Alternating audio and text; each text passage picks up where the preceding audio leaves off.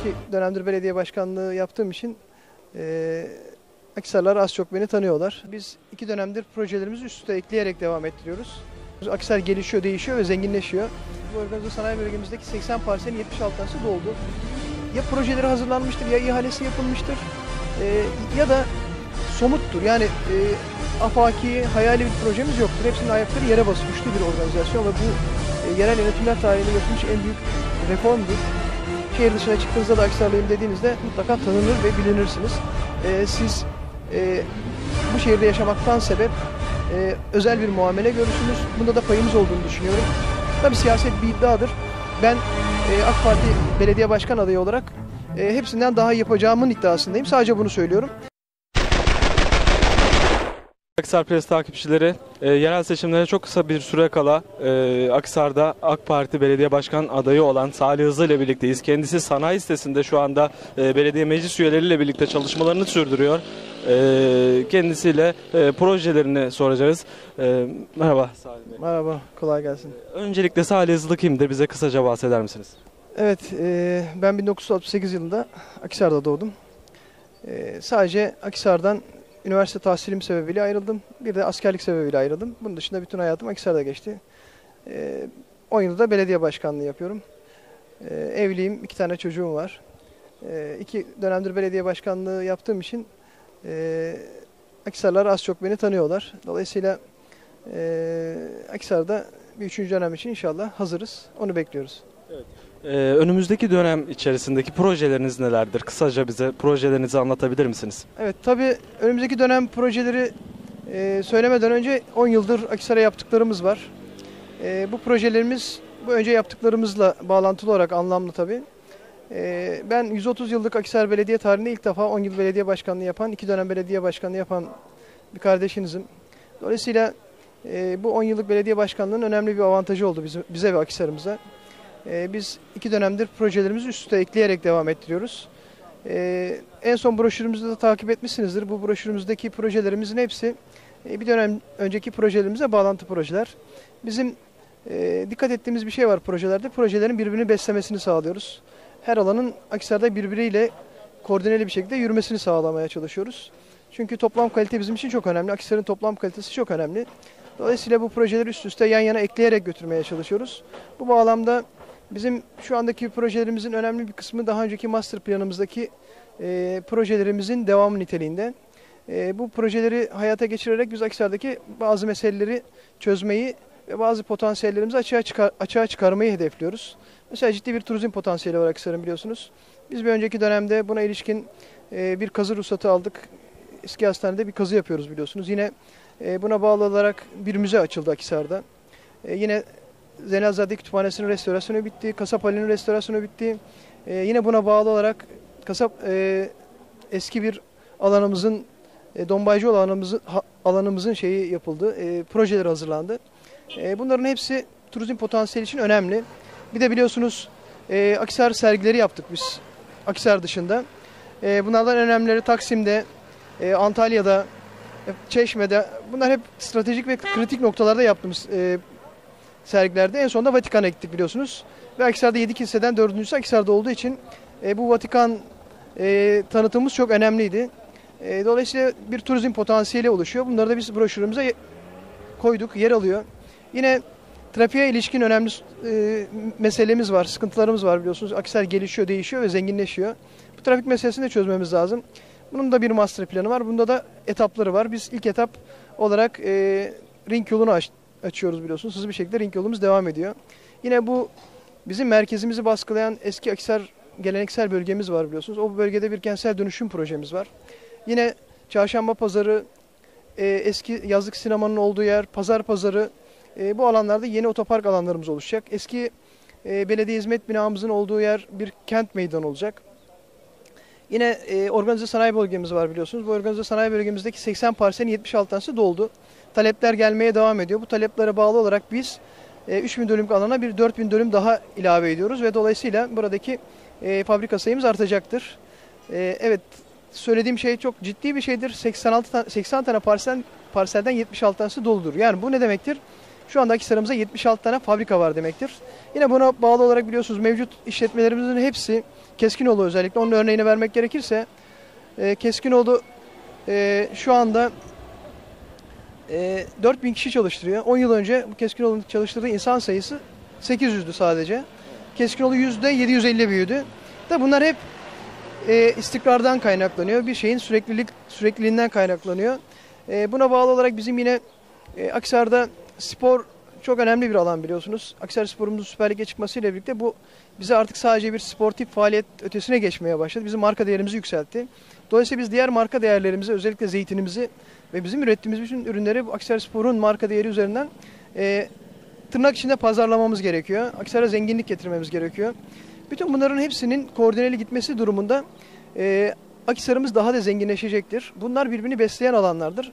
Bizim projelerimizde dikkatinizi çeken eğer dikkatli incelerseniz birçoğunun e, şeyi vardır. E, ya projeleri hazırlanmıştır ya ihalesi yapılmıştır e, ya da somuttur. Yani e, afaki, hayali bir projemiz yoktur. Hepsinin ayakları yere basıyor. Finansmanları sağlanmıştır. Biliyorsunuz bakanlarımız Akhisar'ımızı ziyaret etti. Mesela Akhisar Spor bağlamında e, stadyum inşaatımızı yaparken e, onun yanında Gençlik Spor Bakanımız temel atma törenine geldi. Gençlik Spor Bakanlığımıza bağlı kredi yurtlar var biliyorsunuz. Kredi yurtlardan biz bin kişilik öğrenci yurdu söz aldık. Bunu da e, Celal Bayar Üniversitesi'ne tahsis edilmiş olan eski sigara fabrikası alanındaki 220 dönümün içerisine ya da eski şantiye alanımıza kuracağız. Biliyorsunuz Tarım Bilimleri ve Teknolojileri Fakültesi de Akhisar'a çıktı. E, bu da meslek yüksekokulu'nda birlikte bu kampüs alanına taşıdığımızda kısa vadede bir 5000 öğrenci anlamına geliyor. Bu Akhisar'ın bir üniversite kenti olması anlamına da geliyor aynı zamanda. Bütün bunları mesela Akhisar Spor'umuz Süper Lig'de e, onun tesisleriyle ilgili yine Gençlik Spor Bakanımızdan bir e, söz aldık. Futbol Federasyonumuz 750 milyar lira sözü verdi. Akhisar Spor tesislerimizin de projeleri bitti. Bunları da broşürümüze koyduk biz. Bunun yanında gölet alanımızı biliyorsunuz bir amfiteyatro yaptık. Kışın bittiği için birçok bir defa bir konser yapabildik sadece Türk Sanat Müziği konseri. O alanın hemen yanına yine e, Genç, Gençlik Spor Bakanlığımız, e, Gençlik ve Spor Bakanlığımızın bünyesinde bir gençlik merkezi ihalesi yapıldı. Bunlar üst üste yan yana biraz önce söylediğim gibi eklendiğinde Akhisar'ımızda ciddi bir potansiyel oluşacak. Yine zeytinimiz tarım anlamında bizim için çok önemli bir ürün. Bizim bu marka değerini Akhisar Spor'umuzla birlikte e, yürüterek e, ve Zeytin İhtisas Organize Sanayi Bölgesi'nde kurarak inşallah onu da arttıracağız. Bu aynı zamanda Akhisar'ımıza istihdam da anlamına geliyor. E, dolayısıyla bu projelerin hepsinin dikkat ettiğimiz bir şey var bizim. Birbirini desteklemesi ve beslemesi. Yine e, biliyorsunuz stadyum alanını yaptığımızda bunun finansmanını biz e, 37 dönümlük merkezde eski spor alanının belediye kalmasıyla sağlıyoruz. Yani e, oraya yaptığımız şeyin finansmanı bize kalıyor. Yani orası Akhisar Belediyesi'nin mülkiyetine geçiyor şu anda. Dolayısıyla o, o alan içerisinde de biraz önce söylediğimiz sıkıntılara bağlı olarak işte tu- turistlerin gelip kalacak yer, eğlenecek, gezecek yer e, sıkıntısı var Akhisar'da. Dolayısıyla belki orada e, plan notları ile birlikte oluşmuş olan biliyorsunuz imar revizyonunda bunların hepsini biz oy birliğiyle geçirdik. Akhisarların seçtiği insanların verdiği karardır bu. Ve bu alanı da inşallah şey yapacağız. Bir ulusal mimari proje yarışmasıyla çözeceğiz. Yine toplumsal katılımı sağlayacağız. Sivil toplum örgütlerimizin e, demokratik süreçleri e, oluşturmasını sağlayacağız. E, bütün bu projelerin toplamında Aksar'ın e, değeri artacaktır. E, zaten hızlı bir şekilde bir ivme ile devam eden Aksar'ımız eski yaptıklarımızın üzerine bunları da inşa ettiğimizde işte spordan, sanattan, kültürden, e, efendime söyleyeyim ekonomiden yana bütün zenginliğini şey yapacaktır. Bizim hedefimiz şu, e, Akhisar tarih boyunca çok parlak bir şehir olmuş. Bütün medeniyetler ev sahipliği yapmış ve bütün medeniyetlerin önemli bir şehri olmuş. Biz istiyoruz ki Cumhuriyet tarihimizde de Akhisar bu e, iddiasını devam ettirsin. Bununla ilgili önemli adımlar atıyoruz. E, bütün bunları yaparken de bütün sivil toplum örgütlerimizle e, paydaş oluyoruz. Biliyorsunuz bir alışveriş festivali yaptık. Alışveriş festivalimizi bütün sivil toplum örgütleriyle birlikte yaptık. Esnafımızla birlikte yaptık. E, ahilik haftası yaptığımızda yine onlarla birlikte yapıyoruz. Bunların hepsini beraber yaparak ve Akhisar'ımızda önümüzdeki günlerde bir proje daha yapacağız. AVM'lerin bir esnafa karşı bir şeyi var biliyorsunuz. Esnafın bir tedirginliği var AVM'lerle ilgili. Biz Akhisar'ın 365 gününü bir alışveriş merkezi mantığıyla çalıştıracak bir proje hazırlıyoruz. Ee, hiçbir alanı boş bırakmıyoruz. Biz bizim Akhisar'da ya- her şey ilgi alanımız içerisine giriyor. ve Bunları yaparken de Akhisar'ın hassasiyetleri bizim için- bizim hassasiyetimizdir. Ee, hiçbir şey eğip bükmeden ama zenginleştirerek ve derinleştirerek e, bu şehirde proje üretiyoruz. Ve herkese kulağımız açıktır. Siyasi düşüncesi ne olursa olsun Akhisar'da yaşayan herkes bizim için çok değerlidir. Biz bu insanların e, talepleri doğrultusunda planlar, projeler üretiyoruz. Akhisar çok yönlü, çok kadim bir kent. Dolayısıyla burada çok dinamik olmak lazım. Biz de bu dinamikliği sağladığımızı düşünüyorum. Şimdi bir başarı denilirse Akhisar Spor başarısı başlı başına bir başarıdır. Bu tesadüfi bir şey değildir. İnşallah bunun yanında daha yaptıklarım yaptığımız birçok iş var. Belediye hizmet binası, gölet, e, arıtma, mezbaha, e, itfaiyenin yerinin tekrar düzenlenmesi, düğün salonlarımızın düğün salonlarımızın tekrar yapılması, mahalle konakları, yollarımızın beton parke ile biliyorsunuz sadece Akhisar'da Merkez Çarşı'da ve Tarih Caddesi'nde beton parke vardı. Ee, biz bunların bütün Akhisar'a yaygınlaştırdık. Doğalgazımızı Akhisar'a yaygınlaştırıyoruz. Yani bu kent çok dinamik bir kent. Ee, bu kentle ilgili bizim hedeflerimiz çok büyük. Bunların hepsinin e, broşürümüze yansıttık zaten. Unuttuğum bazı şeyler mutlaka vardır ama e, Akhisar'ın bütün potansiyellerini biz açığa çıkararak ve bütün Akhisarlılarımızla birlikte hareket ederek bu kenti e, emsallerinin ölçeğindeki emsallerinin e, yarışından koparmayacağız. Türkiye'nin gerisinde kalmayacak, dünyanın gerisinde kalmayacak. Akhisar'ın bilinirliği artmıştır Akhisar sporumuz sayesinde. Evet biz bu işi belki milyarlarca dolar har- ha- harcasaydık e, bu şeyi sağlayamazdık. E, bu tanıtımı sağlayamazdık. Bilirsiniz ülkelerdeki tanıtım için ciddi bütçeler harcıyorlar. Biz Akhisar sporumuz sayesinde bunu çok önemli bir ölçüde başardık. Allah'ın izniyle bu marka değerimiz bizim bütün her şeyimize yansı- yansıyacaktır. Evet Akhisarlı olmak bir ayrıcalık olmaya başlamıştır. Şehir dışına çıktığınızda da Akhisarlıyım dediğinizde mutlaka tanınır ve bilinirsiniz. E, siz e, bu şehirde yaşamaktan sebep e, özel bir muamele görürsünüz. Bunda da payımız olduğunu düşünüyorum. E, bütün Akhisar'ın payının olduğunu düşünüyorum. Akhisar, Akhisar'da yaşayan insanlarımız gerçekten çok asil insanlar. Ben de onlara belediye başkanlığı yapmaktan büyük şeref duyuyorum. İnşallah önümüzdeki 30 Mart'tan itibaren Büyükşehirimizle birlikte Büyükşehir'de çok güçlü bir organizasyon ve bu e, yerel yönetimler tarihinde yapılmış en büyük reformdur. E, bunun 30 Mart'tan sonra şeyini göreceğiz. E, ne demek istediğimi o zaman göreceğiz. Çünkü ben belediye başkanlığım sürecinin içerisinde 10 yıldır yaptığım yaklaşık 50 milyon liralık hizmeti Büyükşehir adına yaptım. Dolayısıyla bu yasa daha önce gelmiş olsaydı bizim mahallelerimize daha yoğun bir şekilde e, ihtiyaçlarını karşılamak, onların yollarını ve diğer imkanlarını düzeltmekle ilgili daha hızlı gidecektik ama geç kalınmış bir şey yok. Biz e, biz kendi ölçeğimizdeki belediyelerle meseleyi şey yaptık. E, yetiştik onlara hatta onları geçtik. Bu ivmeyle inşallah Akhisar'ımızı çok daha iyi bir kent yapacağız. E, bunu hep birlikte başaracağız. Bugüne kadar dediğim gibi biz e, belediyeden hizmet alan insanlarımız, işte sanat atölyelerimiz var yukarıda.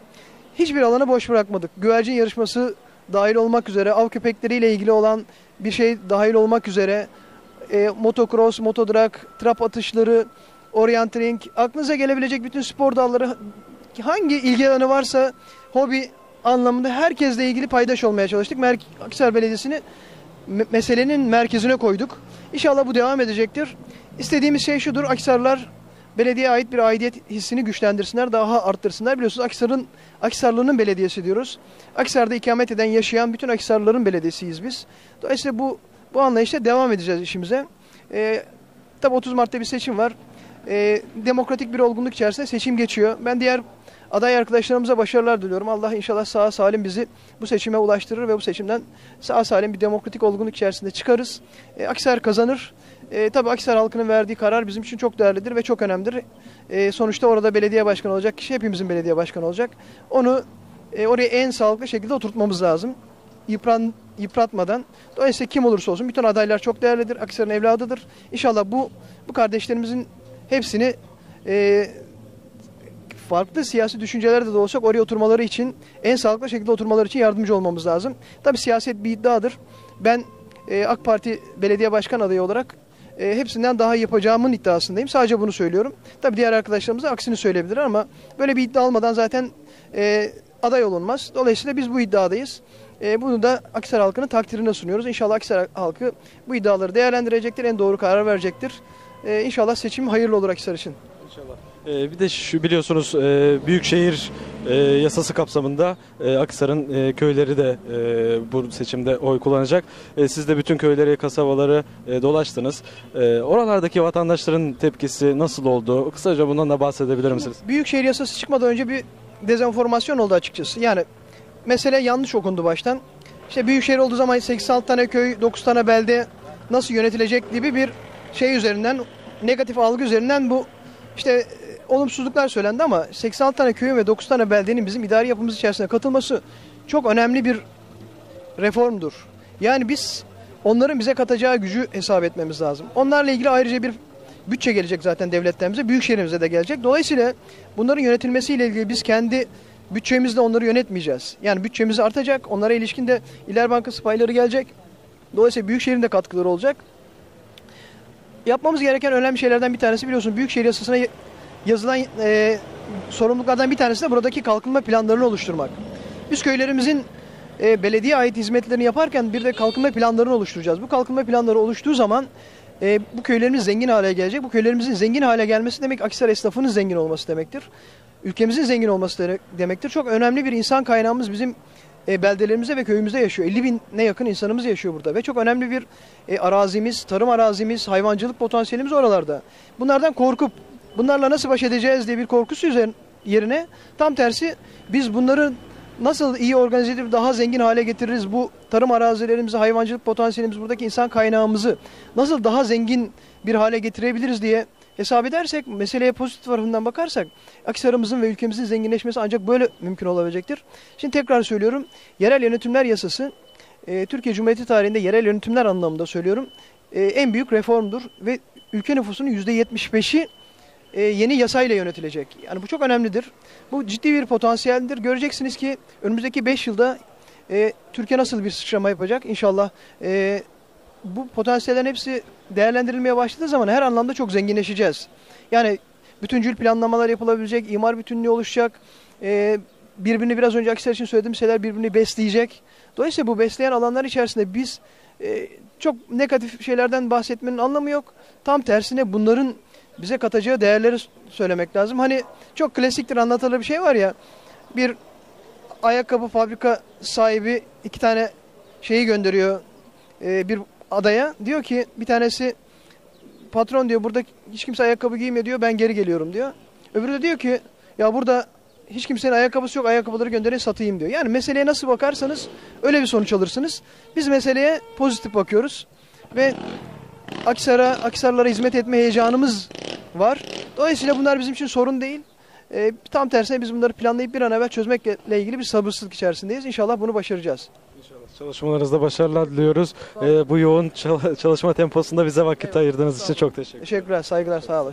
Doğru ve tarafsız. Doğru ve tarafsız. İnternetteki hızlı gazeteniz.